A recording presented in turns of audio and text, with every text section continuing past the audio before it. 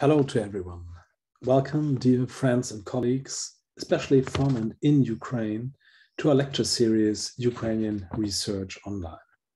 I'm very happy to finally announce the launch of a lecture series, which is part of the fundraising campaign for endangered scholars that the Ukraine Initiative at the University of Erfurt, the University Society of Erfurt, and the research initiative Political Epistemologies of Central and Eastern Europe, PECEE, have put together. The aim of our series is to provide visibility for our Ukrainian colleagues and their work.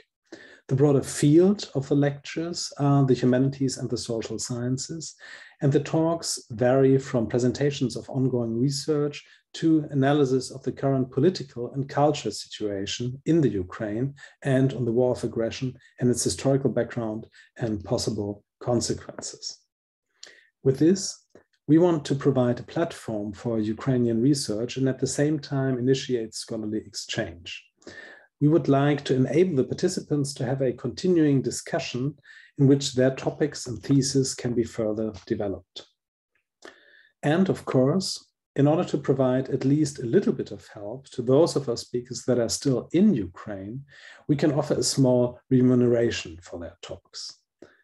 Thus, I'd like to encourage all of our viewers to donate so that we can help as many colleagues as possible.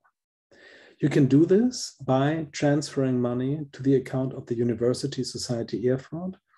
And you can find all the relevant information in the text to this channel or at our PECEE website, which we will insert in the video and in the description below. Thank you very much for your interest. Thank you very much for your help. And most of all, thank you very much to our colleagues from Ukraine that have given the following talks even under the worst possible circumstances.